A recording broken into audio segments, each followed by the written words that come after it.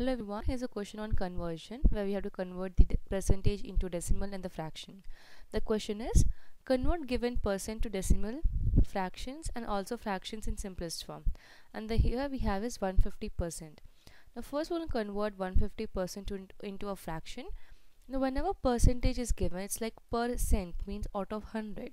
So 150 percentage means it is 150 out of 100 or you can just remove the decimal sign here and then you can divide with 100 now this is a fractional form but they want to convert this into the simplest form. Simplest form means the reduced form. You have to cancel it and bring it to the lowest form. You can cancel here in 5 table. You can cancel this in 10 table. First I want to cancel the zeros here okay? And then we have 15 and 10 so we can cancel this in 5 table. 5 3s are 15 and then 5 2s are 10 so the reduced form or the lowest form is 3 by okay? Um, now this is the reduced or simplest form but we have to convert this into the decimal form also. Now from here uh, from here itself that is from 3 by 2 you can divide the this number you can get the decimal form. Or uh, you might have also learned that how to convert uh, fractions into decimals when you have a zeros in denominator.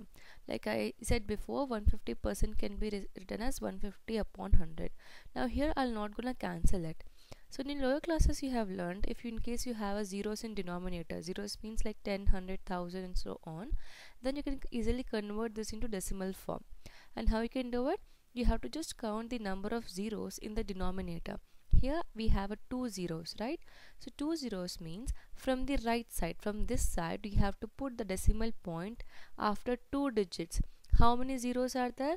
After that many digits, you have to put the decimal point from the right side so this will be like 0 and then 5 so two digits are over. I'm gonna put point and then 1 so 1.50 is a decimal uh, is the decimal form. That's it. So from here also you can get the answer. Divide 3 and 2 you'll get 1.5 or you can do this way.